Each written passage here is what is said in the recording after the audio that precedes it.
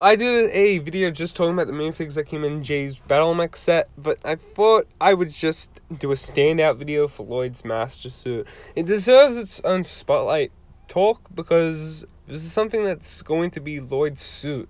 He's Master Robes, he's first Master Robes, and I think it should be the talk of the town. So let's get into it.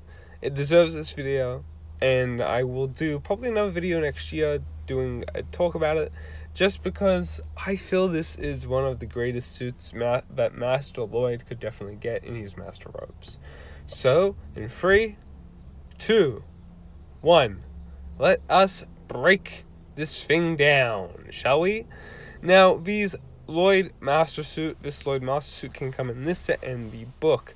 The front is very beautiful. The back is goddamn bloody beautiful. I have to admit, what they've done here at the back is fantastic. Using the dragon symbol in green and gold represents all of Lloyd's character throughout the several seasons.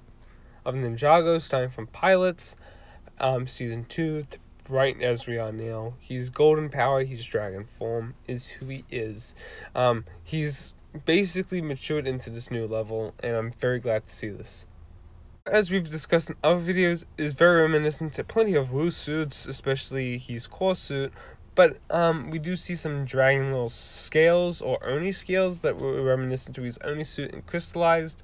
But it, it, in various just talk, this is honestly a very beautiful suit. Um, I love Lloyd's green headband. I love all of this version of Lloyd. He is just such a standout.